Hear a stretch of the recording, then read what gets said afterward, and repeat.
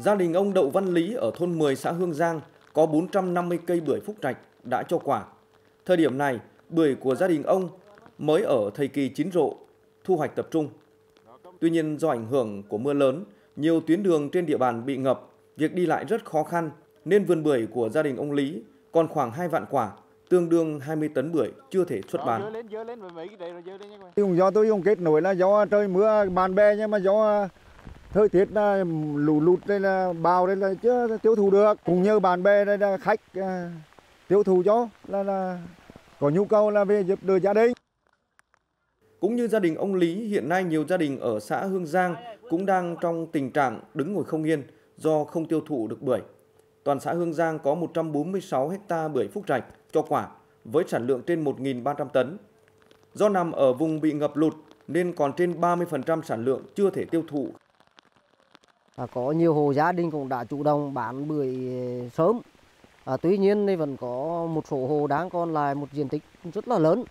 À, và là do cái đặc thù là cái, cái, cái vùng rụt lũ cho nên là hiện nay cái thương lại mà đến mùa mưa lũ ấy thì thương lại vào đấy là rất khó khăn.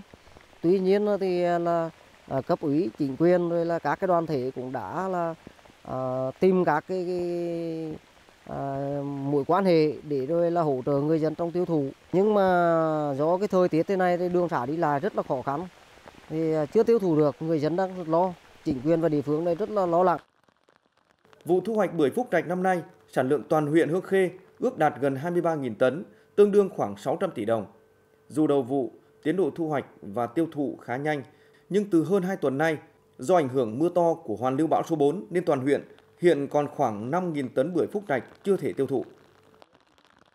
Mặc dù thì là các cái tổ ở ủy ban huyện những các cái tổ chức hội đã là tăng cường tuyên truyền vận động và kết nối tiêu thụ sản phẩm nhưng do ảnh hưởng của mưa lũ cho nên cái cái cái, cái, lưu thông thị trường tiêu thụ cái sản phẩm bưởi phúc trạch sản phẩm chủ lực của huyện cũng đang à, đang chậm và cũng gặp một số khó khăn. Hiện tại thì là một số vùng cao lụt á thì uh, các xã là đang tập trung để lại con vùng thấp lụt thì ủy ban huyện những là các thành viên ban chỉ đạo là hướng dẫn người dùng dân là tận dụng tối đa để thu hoạch.